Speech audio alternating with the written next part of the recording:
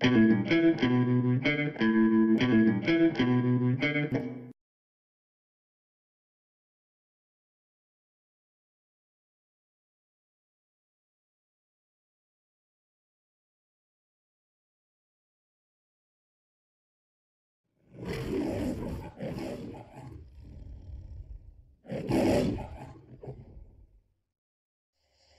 bombs have claimed the lives of eight U.S. soldiers today in Iraq. Four troops were killed when an explosion struck their vehicle during combat north of Baghdad, while an airman was killed by another roadside bomb in Tikrit.